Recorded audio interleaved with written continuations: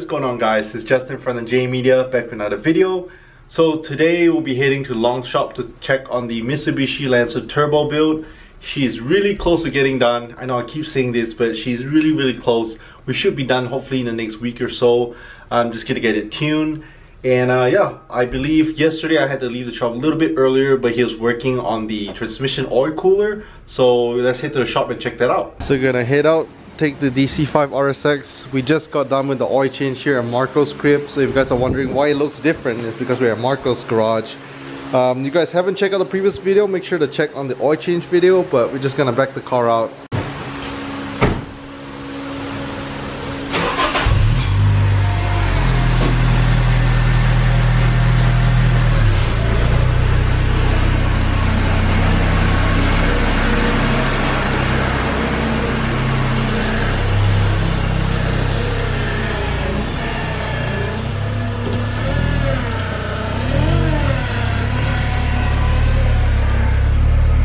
just got to long shop and it's raining. Long brought the mercedes-benz we have aj in the s2000 and ooh his buddy brought out the evo 8 and over here we have my mitsubishi lancer turbo build.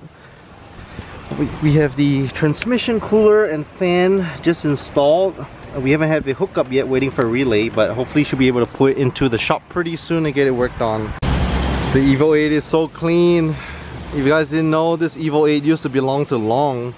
And I've seen the car on plenty of times. She just recently spray painted the whole car and he sold it for a great badass price um, to one of AJ's friend. And then like I said AJ brought the S2000 as well. Let's get a little more up close of the S2000 so you guys might have seen this uh, this car in a few previous videos but super clean S2000 and AJ actually tracks this car pretty frequently so it's not just a show queen. Everything he done to the car is functional.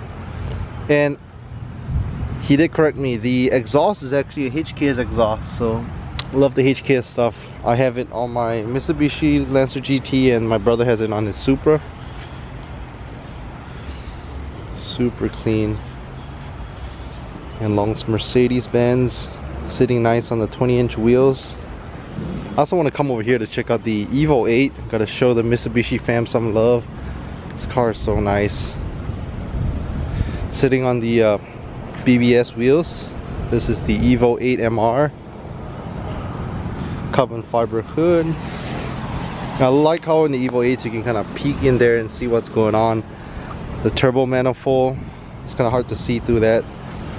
Huge mount intercooler man. And like I said with the fresh paint I'm not sure what paint code this is but it looks so good. Long on this car for quite a long time before selling it. Like I said badass price on it. Carbon fiber. Mitsubishi badge. Evo 8 MR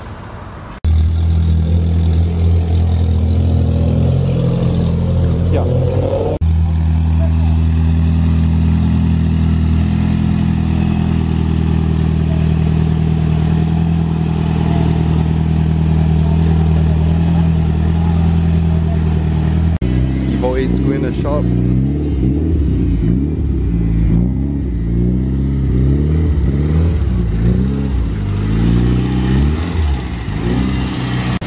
And we have both Mitsubishis parked in the shop.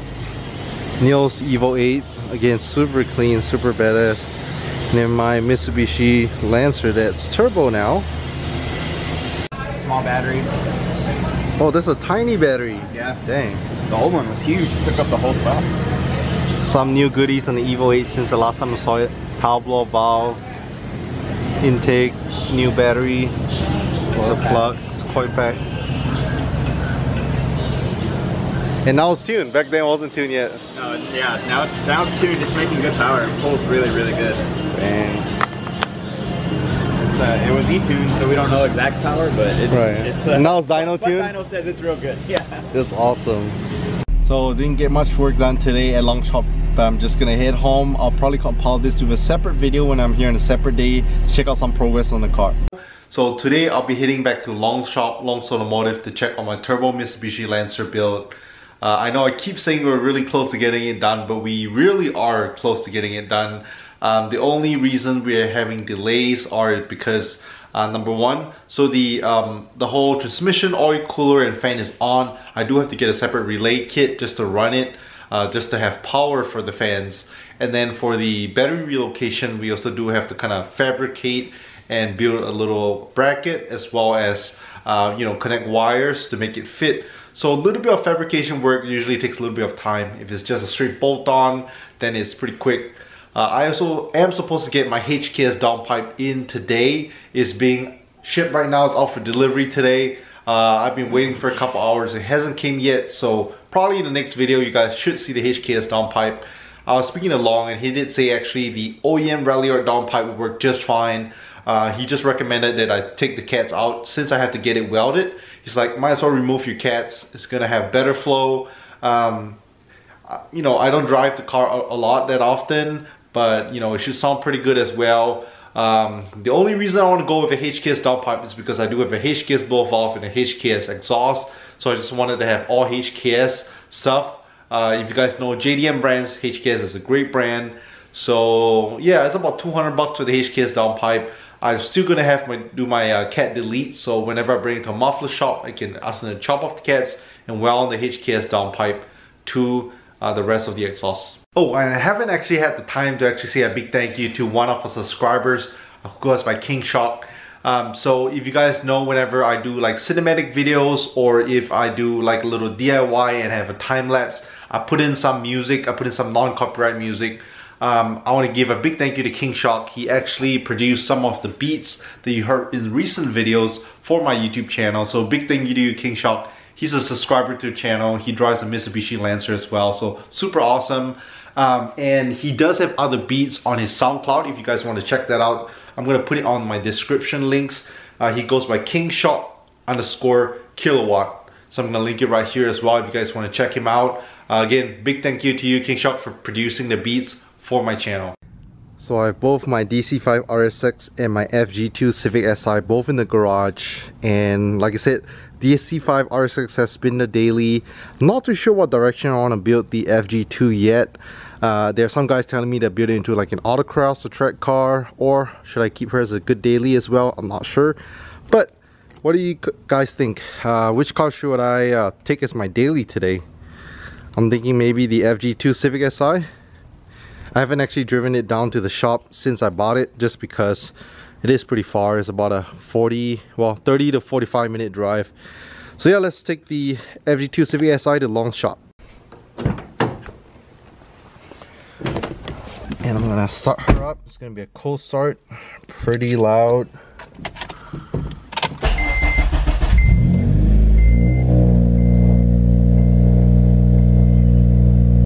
right so car's all warmed up i think i'm good to go uh, so yeah like i said i driven this thing around but i haven't driven it on a long trip yet. And i might change out this shift knob pretty soon because little oil and crusty is probably the OEM shift knob. So yeah always exciting to drive my SI just made it back to Long Shop Long's Automotive. Gonna check on my turbo Lancer build. Just parked the Civic Si over here and we have my Mitsubishi Lancer over here on the side so let's check it out. So like I said recently we uh, had the transmission oil cooler installed as long as the transmission fans. So let me just show you guys a little bit more up close of it. So over here on the driver's side this right here is the OEM transmission cooler. On some models they don't come with it but I think the GT and GTS comes with it.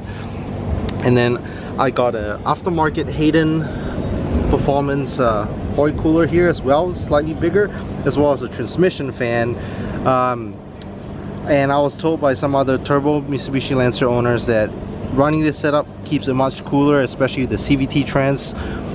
Um, so yeah we're stacking it. I was hoping to have one on each side but stacking it seems to be the easiest way to run it.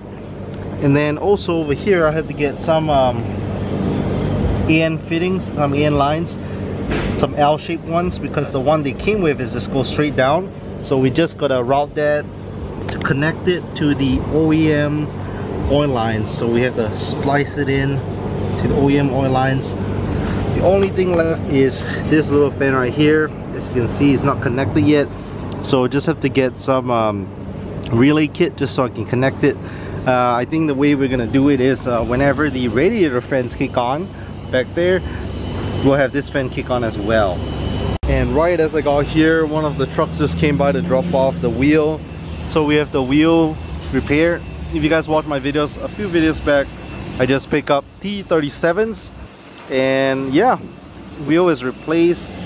Um, I'm trying to see if I can see where the scuff mark was previously.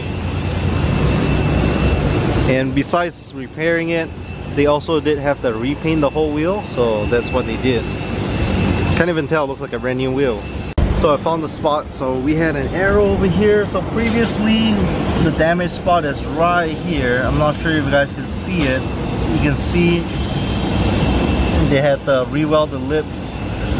But yep there's just a little damage there that got repaired. From the face of the wheel looks perfectly good right now. So also just bumped to Sang's Acura TSX here super clean for a while I wanted like an Acura TL TSX before I got the RSX super clean look. Also have a DC2 Integra over here for some work. Pretty clean. Gonna have Iman pick up some food. We're gonna let him drive the FG2 Civic Si Iman gonna drive the Civic Si so actually he was the first one to drive it before I bought the car. So gonna pick some Whataburger up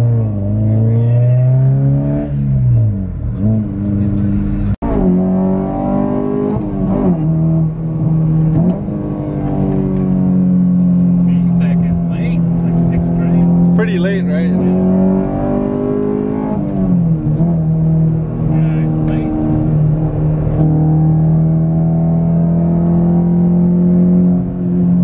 pretty much back from grabbing food from Whataburger and Iman driving it. What do you think? Pretty solid?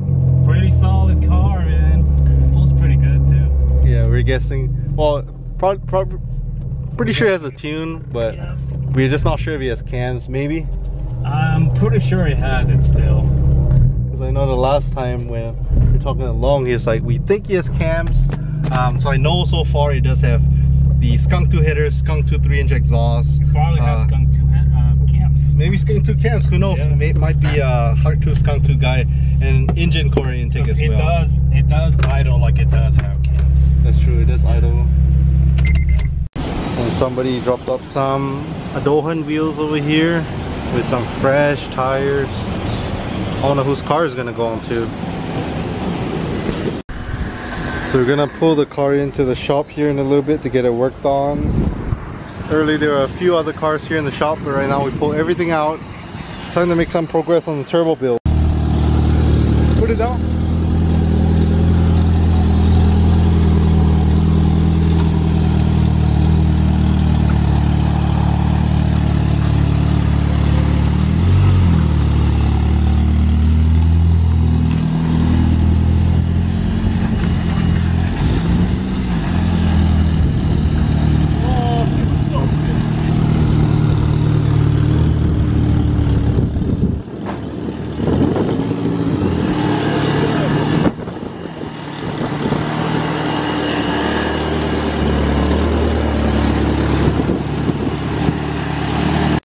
Gonna go ahead and mount the tires onto the TE37 right now. M3 back in after a quick wash down and fresh paint. Ooh, looks good. Sounds good too, V8. And tires are on the wheel, all balanced. Good to go. You got center caps on? No, no center caps. Like brand new. DC2 Acura Integra pulling in. K-Swap Integra.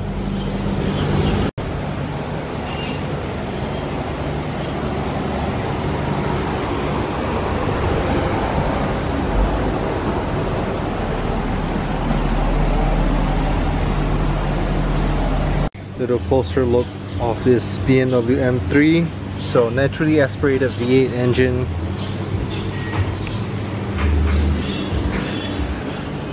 really nice bunch of carbon fiber pieces in the interior. One of my favorite parts is the carbon fiber roof. So if you want to get a carbon fiber roof done it's really expensive and you do have to cut a big hole. Um, yeah super cool. So yeah fresh paint on the M3 looks really good.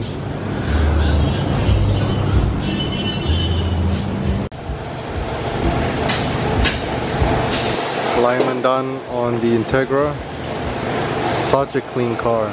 Fresh paint too.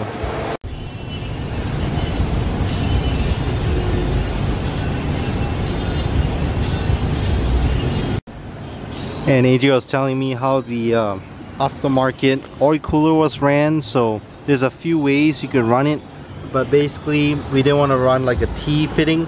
So basically the oil will flow from the top up here to the OEM oil cooler after it flows to this it'll make a little U and then flow through this aftermarket Hayden oil cooler and flow back. So runs through this first oil cooler then to the second one then back instead of running to two separate ones with a T fitting. And also over here we have some stuff to uh, relocate my battery. So we're gonna have it over here. We did the uh, windshield wiper fluid delete since this is not my daily car. Um, have some of the terminals over here and then trying to fabricate a bracket somewhere right here to get it mounted. We got Sang's Acura TSX coming to the shop. So clean. So I'm just gonna head home right now taking the SI home. Uh, so today we were just mocking up some stuff for the battery relocation didn't exactly get much done because it was a busy day here at the shop but I did get my extra TE37 wheel back from the repair shop. So I'm really excited uh, in a few upcoming videos you guys might see the TE37s be mounted onto the Civic Si. So if you guys are excited for that? Don't leave a thumbs up. Again if you're new to the channel and want to stay tuned on all my videos make sure to hit that subscribe. Really helps me out a lot. And hit that little notif notification bell so you know when new videos are out. Thank you so much for watching and I'll catch you guys in the next one